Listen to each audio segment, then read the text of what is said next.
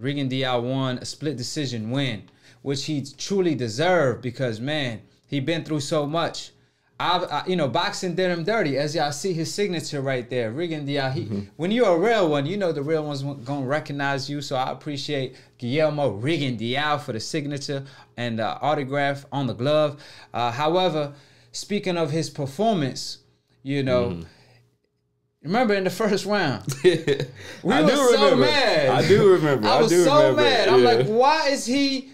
sitting in the pocket, not doing a damn thing, and you pointed out he's just leaning on his front foot. And I'm like, what is he doing? You told me his legs was gone. I told yeah. you I don't care about him moving like, you know, flying like a butterfly, stinging like a bee, like Muhammad Ali. I'm not asking him to do all of that. All I'm asking him to do is fight his fight, quit trying to please the fans that never gave a damn. Mm-hmm. Fight your fight at 40 you cannot learn new tricks. You cannot teach a old, a old dog new tricks. So stick with what you do best, and that's boxing. Just move around, take angles, and counter him and make him gunshot. And he realized and knew what's up because after the first round, after he got touched and even wobbled at one point because his opponent was a good fighter, mm. um, you know, he realized, you know what? Let me fight my fight instead of pleasing the fans that never gave a damn. So he started boxing and then he had um, automatically his opponent second guessing himself. Yeah. And Rigondeaux, man, he used never miss a beat, man. Hitman, man. I remember Mayweather one time said, if you if you make a mistake, you have to pay. With Rigondeaux, you didn't even have to make a mistake. You could punch correctly. You could have your hand in the right place placement and everything. Fundamentally, you 100% there and still get countered. You don't even have to make mistake. If you let your hands go, you will get hit. That's how sharp Rigondeaux was at one point. That's why I say he is shell of himself. But you know, he still, with what he had, with his experience, he pulled off the win against a veteran opponent. And man, I'm so happy for him because, like I said, boxing did, did him dirty. They allowed all these fighters to avoid him. Uh, Bob Arum shit on him. His own promoter, excuse my language, but I just have to tell it like it is. You know, he messed up his ca- cash cow Donaire and that was all she wrote. So that being said, Donaire at the time, of course, just to point it out, Max Kellerman like said if Max Kellerman said if he in the same weight division as Mayweather, he will be favored. And then Rigondeaux came on uh, and, and beat him like he was a nobody. So speaking of Rigondeaux last performance, sum up what took place in that fight from your perspective and you know your comment on how Rigondeaux was mistreated in the sport of boxing.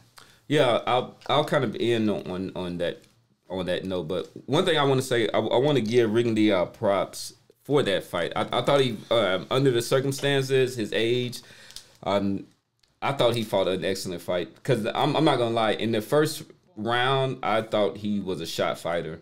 One thing we were talking about, he was um, he was fighting on the inside. He wasn't kind of moving his um, opponent around. He wasn't being clever with his footwork. And not only that, but he was his his weight was over his front foot, so that makes you susceptible to an uppercut. It's just it's just bad technique. And then a couple of times it seemed that he got his legs stiffened by some really good punches, and I thought those were signs of a shot fighter. And I was it was for me it was kind of a sad moment. Yeah. And then something I don't know if it was the corner, but something just clicked in him. And even though it, this this wasn't a a young Rigondeaux, but his um his boxing acumen and it was still there as far as like so he doesn't have the the quickest feet anymore, but he knows how to get himself in different positions. He understands angles Anybody? Them, one, one, beautiful most, uppercuts. We can't yeah, yeah. ignore them. I mean, uh, beautiful. His left hand is beautiful. The one thing I've always, for uh, as talented a fighter as he is, he really doesn't use his right hand at all, except to maybe to like kind of prop up his opponent and, and doing that left. But he's still a genius fighter in in his own right, and I think that he has a new lease on his boxing life now after that performance. Yeah, and I and we just cannot ignore the bolo punch that's what they call it in Cuba when Muhammad Ali went there. Um, you know, the, the legendary Cuban fighter at the heavyweight division at the time showed him the uh, uh, the punch that's called the bolo punch, and that's the uppercut. That's like it- it- it's all the way you from bringing Cuba. it- yeah, you They bringing it all the way back from from Cuba. that. and he caught my man with it and hurt him with man. And the guy like he had too much heart because he fell down the rope, you know, and then try to get up right away. Like, bro, you already fell on the rope. You know it's gonna be considered a knockdown. Like, why are you even gonna get up and get hit again when you were badly hurt? But it's a natural instinct. Yeah, the fighter have too much heart. Yeah. I, I gotta give him props. But I love what Rigondeaux did. Uh, Cuban fighters, I must point out, they rely a lot on reflexes. So a lot of their technique, you know, is really timing and you know upper body movement more so than just you know hand speed. They teach you how to move your feet before they teach teach you how to move your hands, and that's why they have one of the best boxing schools, if not the best in boxing today. Uh, that being said, Rigondeaux, like I said, the reason why I say he been mistreated because the Lomachenko uh, incident, for example, um, which we're gonna touch on in a second. Let me just connect to the studio and talk to my uh, key real quick, my brother. Like I said, I just want to finish up with the Lomachenko situation when he fought, because a lot of people keep kept coming at me, telling me, "Man, what are you talking about, Aki? Quit making excuses uh, for Rigondeaux when he fought Lomachenko." And it's like I'm not making excuses. I'm just stating the facts. And that was when Lomachenko was at 126. Rigondeaux was trying his hardest to fight him. And Lomachenko was blaming it on the money. Sometimes he was blaming it on the weight Yeah, and stuff then like he, that. He felt that he wasn't gonna get kind of credit for that. Or, or but but Lomachenko. but listen, hear, hear me out. Lomachenko, he he blamed it on multiple stuff. One day he will say the money, one day he will say this and that, and then um the when when he was at 130, when he moved up, he made Rigondeaux move up two weight divisions, claiming he could no longer make 126 or whatever the reason might be. Mm. And now they talking about making Lomachenko versus Inoue at 126. I thought I'm like, what? You just said you can no longer make 126 when you was at 130, but when you at 135, speaking of today, you could still make 126. It's like it's a slap in the face. And Rigondeaux, from what we know, and that's a fact, Rigondeaux was inactive fighting like one time a year. If if even if he was fighting one time a year, that was good. He wasn't even fighting one time a year. Coming off a fight where he it took him only one round because he got um his opponent got disqualified for acting like he got hit on the head or something like that. I, Yeah. I don't recall correctly, but the point I'm trying to make, Rigondeaux was 10 years older. Rigondeaux was moving up two weight divisions. He fought at 118. Speaking of today, yesterday, and he fought Lomachenko at 130. That's three weight divisions. And at them lower weight divisions, that's a huge jump for a small guy. He came into the fight at 121 last night to show that he really is a small 118 pounder. And he fought at 130. So, like I said, I mean, Lomachenko took mean, so, advantage. yeah, he didn't want to fight him at, at the same time. He, he he had bad promotion throughout his career. We don't. How- why- why is it bad but- but- but promotion when he like, upset it It doesn't have to all be about Lomachenko. So his it really. I would like to point at his promoter, and that was Bob Arum at one point, because even when it came to Donaire, he tried to feed, he tried to feed him to Donaire in particular. But one time after a fight, uh, Bob Arum wasn't particularly happy in how Rigondeaux uh, fought his opponent, and then he went. So this is this is a promoter who has a fighter, and then he went and, and did an interview and said, "I don't know who would want to pay to see this guy fight." And he was like, "I don't know how to promote This him." guy's And he would, and he would, and I'm like, "That's your fighter." And like, why would you undermine your own efforts by trashing your own boxer? And I thought that was, I thought that was the equivalent to malpractice. Because look, your your your job is to promote him, And he's doing the and, opposite and then you're doing the exact opposite. So I think that goes beyond Lomachenko. I, I think all things considered, Oh, no, I'm not were- blaming Lomachenko for that. He took advantage, but all I'm trying to say is, like, what Bob when Bob Arum did that, right?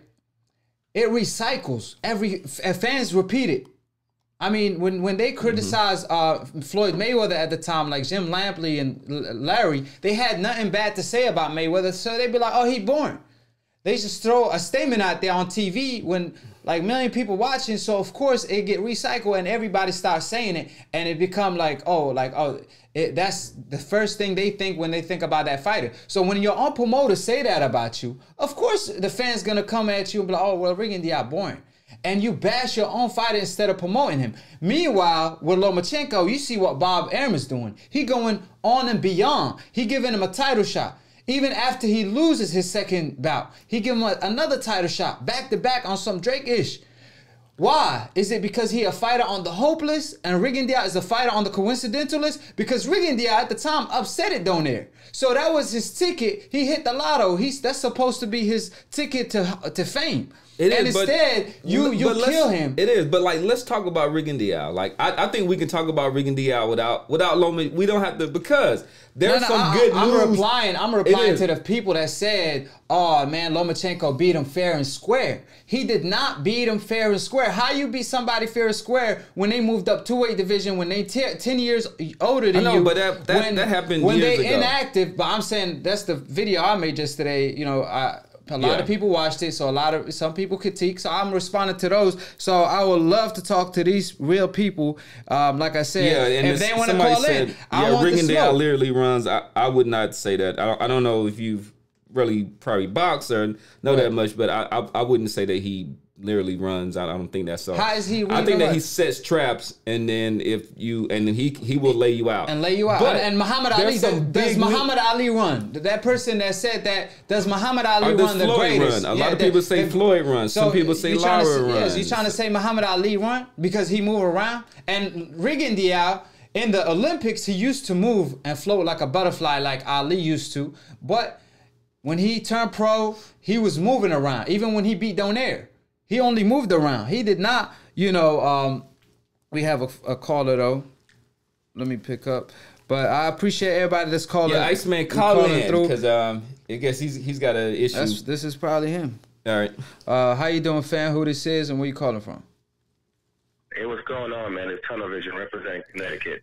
Tunnel Tunnel Vision, Vision. what's good? What's good with Let's you? go. Let, let- let me see where your Hey, tunnel what- vision is looking at. All right, man. When it comes to this, when it comes to Rigondeaux, when it comes to uh, the uh, the time frame where he's with Top Rank, everything you're saying is true. You know what I'm saying? And we have to look at that time frame and be like, yeah, they did him dirty, and Absolutely. HBO also did him dirty. You know what I mean? With the things that they did when it pertains to him. Facts. But after that, after that, I'm gonna have to put the brakes on that because once he left top rank, he had options. There's things that he could have done. He could have went. He could have signed with Al Haymon, and Lara was telling him, "Yo, sign with Al Haymon, sign with Al Haymon, sign with mm-hmm. Al Haymon." He was he was saying the same thing to Gamboa. Yeah. Yo, sign with Al Haymon, sign with Al Haymon. Yeah. Yeah, Gamboa Gambo signed done with that. 50 Cent. Yeah. Yeah, and, the- and, yep, and, and these were the and, the, and these are people, you know, who had basically all the fighters that he wanted to fight, and people actually that would have showed him love and actually would have promoted him as a fighter. But you know, you know that's a fact though. You know, like that that ah by Al Haymon Yeah. and they, they were trying to sign him because I know people. You know, he he- was he free, now, right? but but I don't know. He's if- signed now, right? Yeah, he is signed signed now. with Al Haymon. Now, why? If they, if they don't sign him now, when he's basically damaged goods, why wouldn't they have signed him when he was one of the top fighters in the world? They Just like absolutely when they, did. did- did- when, when, when they had the time, when they had the time, the, the opportunity to sign Manny Pacquiao, they signed Manny Pacquiao. You know, they'll sign other people. They don't. If you're a good fighter, they will sign you. They're not. They've never been on this weird thing like other promotional companies are. But but, Okay, but I have hey, to point but- out. I have to I have to point out what what what are your thoughts on, you know, like let's say Gary Russell is with Al Haymon, right? And he didn't get the cruise fight. So No, sometimes you with Al Haymon. cannot. No, some he's not with Al Haymon. Gary Russell is not with Al He's not Haymon. with no. Gary, Hall- so. Russell has made Gary Russell has made multiple interviews where he said that yes, he does business with Al Haymon, but he is not. Okay, that's what Al I'm Haymon. saying. That's what I'm saying. He- he's doing business with him. His, So- his, his, his brothers, his brothers are signed So to him. yeah, so what I, my point is, my point is, not signed to him. listen to me. So the point is, um, Cruz versus Gary Russell is possible, but it never took place because Al Haymon cannot force Cruz to fight him. Cruz just don't want the smoke. So what I'm saying is, with Rigondeaux, regardless if he signed with Al Haymon or not, he was not gonna get the Morris of the world, the Quigg, the Frampton, because they didn't fight Gary Russell either, who does business with Al Haymon. So my point is, Rigondeaux will have got ducked regardless because he was pound for pound one of the best for years, and nobody wanted to come see him. You know what I mean? So it was. It's not the issue of the. So regardless of him even push, pos- positioning himself in the right uh, place, he still would not get the fights because they he was that feared. Like he was that good. They they felt like they can't beat him. I'm gonna. I'm gonna have to disagree with that just due to the fact that we they say the same things about Errol Spence. But what, what Errol Spence did was Errol Spence stayed active.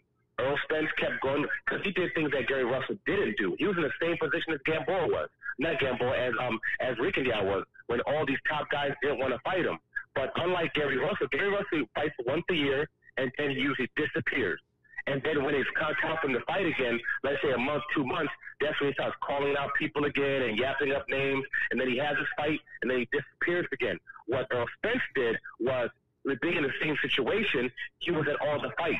He was at Danny Garcia's fights. He was at Porter's fights. He was at Keith Thurman's fights. And then he also stayed active. He Yes, fought sir. all these fighters. He fought, and, and, and, and in fighting all these other fighters, he became more popular and more popular and more popular, and got into the, a, a situation where financially it made no sense Yeah. for you to fight him I- anymore. I get you. That's I- I see your point that you coming So from. They, they could have did the same thing. Yeah, well, let, let me time in real quick. he ask him a question, Let, let me t- let me time in real quick. Let me time in real quick to that. I agree with you. You know, sometimes it's on the fighter too, but Errol Spence has the it factor to be a superstar. You talking about Errol Spence, a guy that could promote himself, that talk English, that speak English, that has the time to grow. Like, you know, he's younger in the game. You talking about on the other hand, Rigondeaux, he was older. Um, he don't speak English. He really can't promote himself that much. He could rap. Uh, we're gonna throw his freestyle real quick later on before we end this round. But what I'm saying is he don't speak English. I mean, Cruz even at one point had he said when Dante interviewed him, he said, "Would you fight Rigondeaux for one million? He said, "No, two million. So Dante was like two million. He said no, three million. So Dante was like three million in a bid. He was like, yeah, three million in a bid. Like he wants that. So it's like I said, you cannot force fighters to fight at the end of the day. Errol Spence, he has the it factor to become a cash cow, and when he did, now they want to fight him. But not everybody in this Errol Spence, not everybody have the appeal to attract people in a major way. So yeah, but um, uh, and then one one thing, uh, tunnel vision. I would say that there's some good um, arguments on both sides, uh, but we I think we all agree that his first situation really tainted his brand. Um, when so when he did come from top rank, right? So he he wasn't in a position where he had all of this leverage or this capital that he had built up because he had a promoter that was working against him. All right, Right. so Yeah, but and then, but hold on, but he one, didn't one need- one, didn't- he one didn't second, need that television, capital one at that second. time. So, I mean, with that said, he did have an opportunity to kind of right that ship.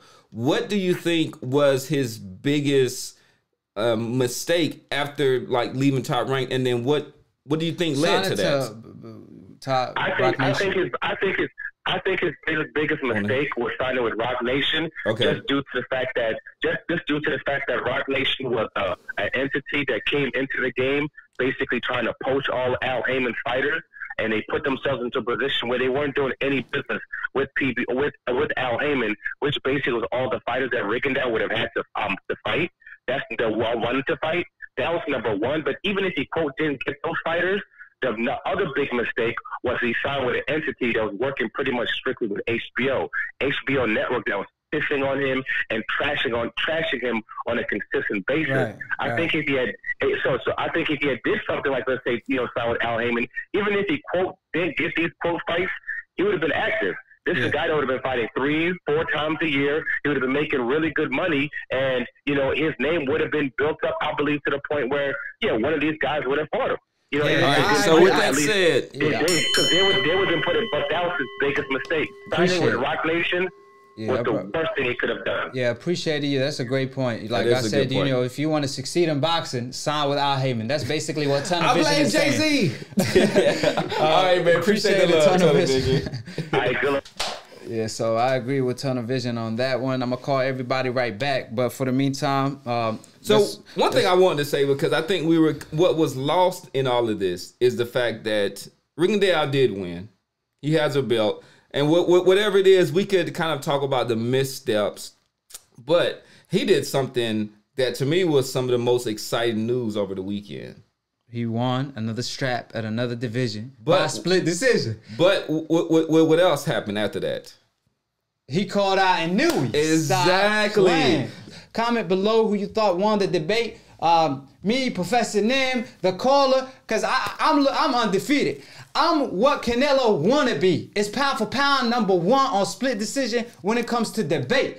That being said, I appreciate all my Akis. You know, we're gonna put the guns down and the gloves up. Shout out to Rigondeaux for winning by split decision, becoming a two-time world champion at two different weight divisions. The Boogeyman. Um, shout out to Professor Nim. Three Uh, P, baby. And like I said, everybody in the chat, subscribe below if you're trying to get smarter by the minute. If you're trying to get dumber by the second, don't. And listen to these casual fans, um, or AKA decafs, dumbass casual fans, because the casual fan ain't no disrespect. If you're a casual fan and you want to be a hardcore, all you have to do is attend the IQ University every Sunday live on Split Decision, and hopefully, yeah, one day y'all will graduate from the IQ University. And just like Dante always say, Man, we speak the truth and nothing but the truth. We offer the book of the truth on split decision. So if you hate to hear the truth, man, you're gonna hurt your feelings listening to us and your eardrum might bust. So, like I said, man, I appreciate every single one of my keys. Take us out, Professor Nam, while I keep it rolling.